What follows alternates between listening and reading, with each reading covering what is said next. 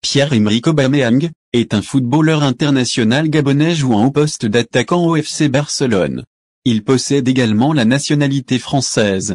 Arrivé au FC Bastia en 2007, en provenance du Milan AC où il termine sa formation professionnelle, il se fait connaître par ses prêts successifs en France à partir de la saison 2008-2009 arrivé à Dijon FC où il joue 39 rencontres et marque 10 buts.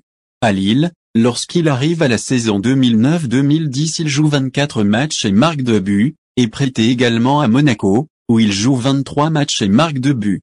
À la Saint-Étienne, il arrive en prêt et signe finalement pour 3 ans pour les saisons 2011-2013.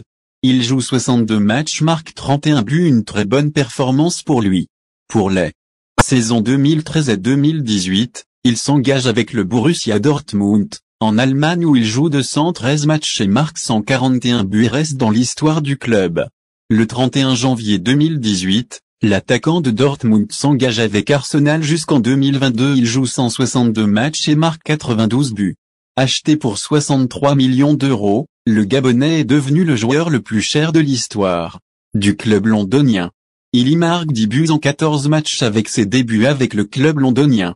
Grâce à sa brillante saison 2014-2015 avec le Borussia Dortmund il marque 46 buts toutes compétitions confondues, par ses performances il est, élu meilleur joueur africain de l'année, le 7 janvier 2016, devant l'Ivoirien Yaya Touré et le Ghanéen André Ayou. Le 1er février 2022. Il quitte Arsenal librement et s'engage avec le FC Barcelone. Il deviendra le troisième joueur gabonais à avoir évolué en Liga. L'attaquant barcelonais est considéré par plusieurs comme le meilleur joueur de l'histoire du football gabonais, mais avant lui, deux footballeurs gabonais sont aussi passés par la Liga, ils n'ont pas pu s'imposer et graver leur nom beaucoup ont oublié leur passage en Liga.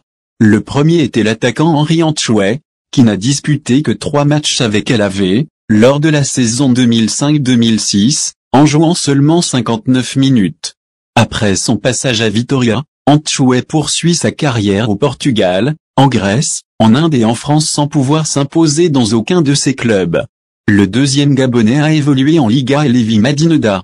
Le milieu de terrain gabonais a signé pour l'équipe réserve du Celta Vigo à l'été 2010 et est monté dans l'équipe première lors de la saison 2013-2014. Madineda a joué 36 matchs avec le Celta Vigo, au cours desquels il a donné trois passes décisives, puis il est quitté de Celta Vigo. En janvier 2016 il rejoint Nastic de Tarragona situé en Catalogne en division B, jouant 53 matchs d'où il marque un but et donne une passe décisive. Madineda est actuellement sans club, après avoir mis fin à son contrat avec le Malaisien Sabah en Malaisie basé à Kota Kinabalu. Merci de liker et de vous abonner pour ne plus rater les prochaines vidéos.